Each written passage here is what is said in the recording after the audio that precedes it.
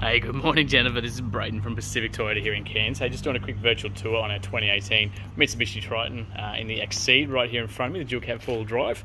Hey, uh, we finally got a break in the rain, so I've given it a quick chamois, and uh, I'm going to take you through the whole car, the service history, any marks or scratches I can find, the whole works, give you a really good look through the car. Hey, look, uh, just in case you're not sure, but obviously we are Pacific Toyota, so here in Cairns. Uh, lucky enough to have two massive big pre-owned yards up here, so we've got another one closer to town at 77 Mulgrave Road. And of course, we've got our main yard here at 251 Mulgrave Road as well. Uh, you can see across the road there, we've got our Toyota and Lexus showrooms, as well as our uh, service and uh, parts drop off across the road and all that. Um, yeah, like I said, we're lucky enough to have two massive, massive pre-owned yards up here, so we get some pretty great cars because of it. But look, we're going to get stuck right into it. Uh, I'm going to start from the very, very front here. I'm going to be picky as I can. Anything I can find, I'm going to show you. But this thing is an absolute glamour with um, pretty unreal service history as well. So look, going right from the very, very front. Don't stress about all that sort of stuff. Like I said, I've just given it a chamois, so that's just little bits of water. Um, looking very clean across the front. I'm sort of struggling to see anything across here at all. Normally you see like stone chips and that sort of thing, but I'm really genuinely struggling. That is very, very clean. That is just looking... Um, so I'll just go right across the bonnet here as well for you. Again, like I said, normally you get the stone chips across the front, but there's just nothing here. The closest, honestly, is that little one's just there. And a tiny, tiny one there. But no, that's coming from my finger, even better. So that is just so clean. Uh, so obviously across the windscreen there, so no chips or scratches or, you know, cracks or anything like that. Uh, that 47,990, that is the drive away price. So that's your stamp duties, that's your transfers, that's everything all included like we discussed. But just exceptional example. You can see me in the mirror there. Come down as well. So obviously, being the Exceed, you get these pretty unreal alloys as well. So it's obviously the factory ones from new. Absolutely stacks and stacks of tread left on there. But I just like showing you. You can see right through the suspension in that. That is just so clean. Normally with four drives, you can um, ride in through those shockies and that is where you see all the dirt and you know leftover mud or anything like that. But that has just been so well looked after. So even right down the um, the angles of the car there. So no dents, nothing. It's just very very well looked after. So um, being the Exceed again, so you get the uh, keyless entry on both front doors on the drivers and the uh, passengers on the front ones. So that little button there, so I got the keys in my pocket, push that button, it's going to lock it. They're going to tuck in, so you know it's locked. Push that again, and they're going to open up. So as long as you're in the proximity of this door, you can push that button, so you can keep these in your pocket, bag, whatever. If you've got your hands full, just makes life very, very easy, especially if it's raining and things like that. You're not sitting there digging around looking for keys. Looks like a tiny, tiny little sort of scuff mark just there. It's very, very faded, like it's very hard to see. But like I said, I just want to be as um, picky as I can for you. So obviously the, the uh, electric uh, windows the whole way round. Looks like a tiny little sort of wear mark just there. Maybe someone's ring or something like that might have caught the, uh, the plastic there. But otherwise pretty good. Um, even on the main entry there, looking very clean. So no floor mats in this one either, just to let you know. But again, so being the Exceed, you do have the uh, the leather seats the whole way around with this one. With the uh, lighter interior. So this thing is just absolutely immaculate, hey. Very well looked after. So you've got the uh, solid grab handles here, so especially with the side steps, this time of year, they um, they can get a little bit slippery in the rain and things like that. So you've got the solid handles here, as well as the, the drop down ones just there as well. So it makes it really handy to jump in and out, um, especially short people like myself makes it very handy. So look, all your books, everything's all in there. I just want to show you that service history. Um, I'm not going to show you the first page because it was, um, this will be uploaded to YouTube and I, I don't want to it's got their contact details on there. Uh, so it, it, I can tell you it was a private owner down in Kirwan. And we'll just jump to that service history for you because I want to take you through it.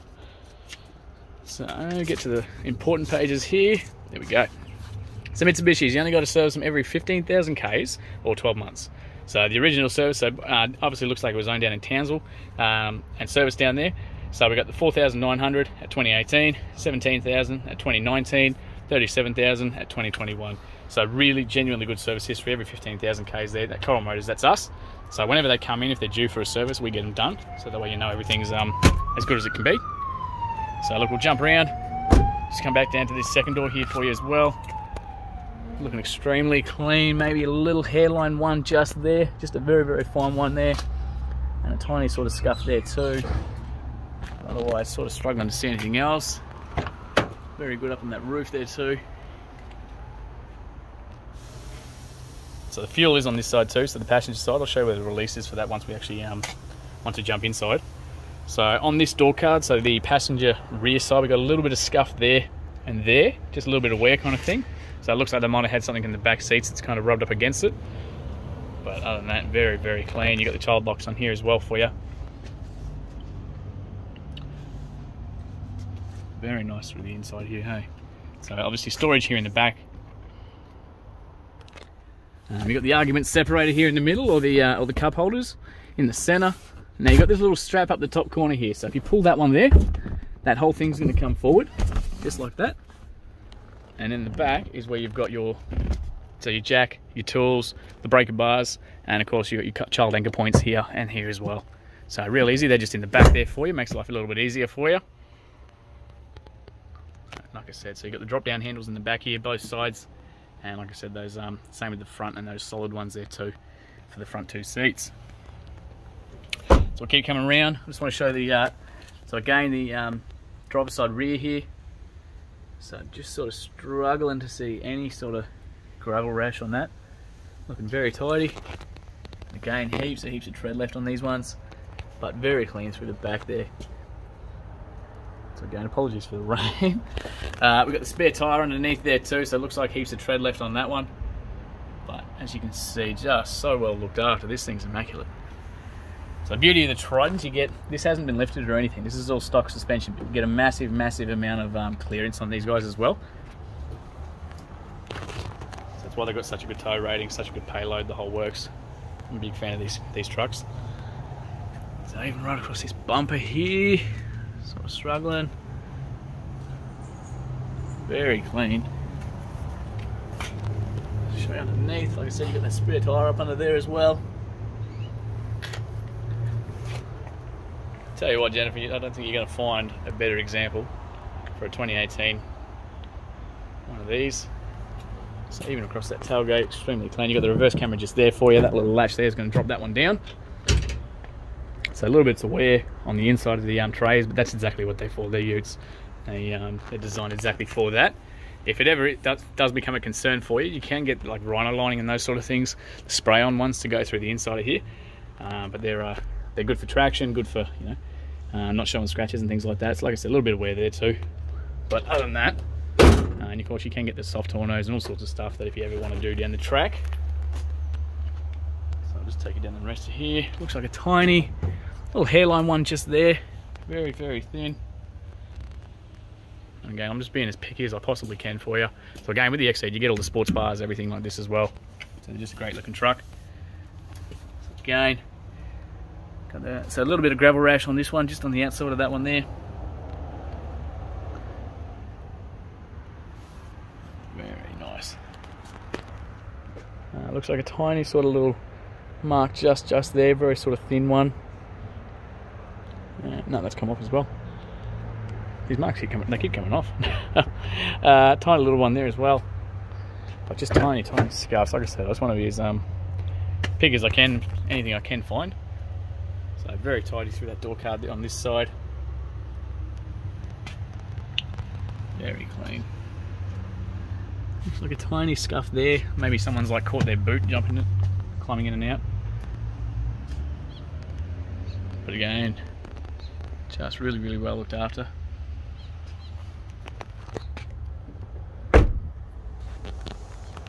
So like even check out the lines down that car, like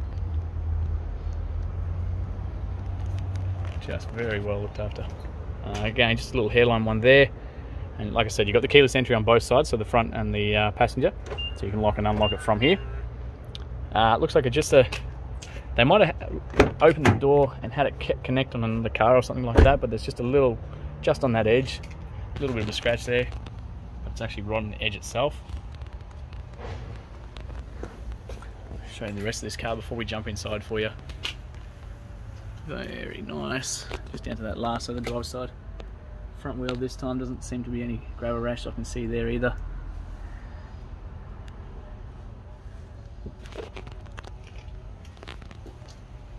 very nice alright So look, I'm going to jump inside for you. Let's start, start this one up. So again, being the Exceed, we are push button start for the ignition for this one. So you've got two genuine Mitsubishi, what they call fobs. Uh, so there's no actual key with these guys to, to start the, the barrel. It's all the ignitions from that one there. So central locking's on there. Uh, nice little nifty feature, but you've got a little lever just there. If you pull that, that's where your actual key is. So if you ever get a flat batch or anything like that and you need to get inside the car, that comes out of that little slot just there for you. So just a little handy tip for you to remember. Put that back in and that just clicks back into place. So look, we're going to jump in, start this one up. So foot on the brake, you got to have the foot on the brake with these ignitions to um, to start it up. So it's uh, safety for kids. So foot there, start there. Just to move forward a bit because I'm very, very short. Okay. So as it looks, 37,194 kilometers as it sits right now.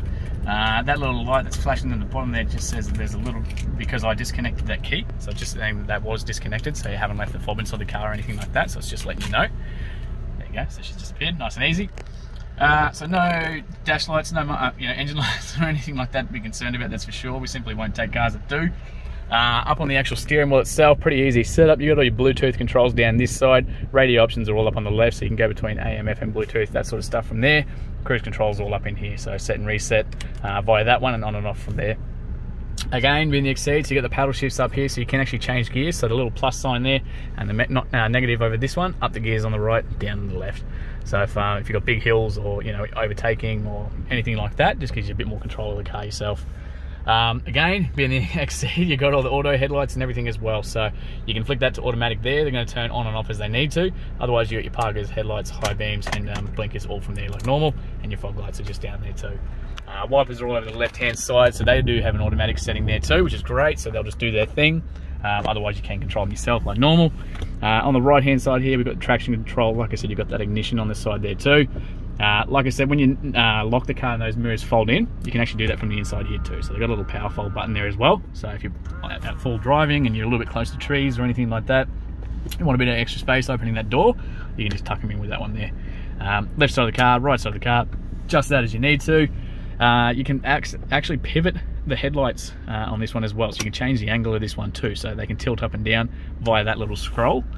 Uh, fuel release is just down here. So like I said, it is over the uh, passenger side there, but the release is just there for it. The actual uh, bonnet release is just up underneath there too. So that's under there. I'll pop that because I'll show under there in a second. Uh, all the all the windows are obviously uh, automatic.